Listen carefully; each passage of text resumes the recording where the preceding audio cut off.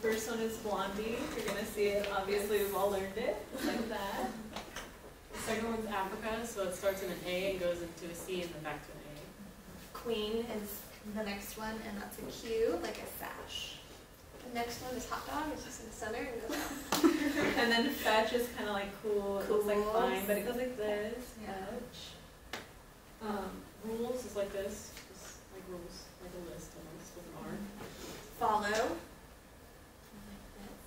Secret. Confidential. Is this-. Keep it a secret, confidential.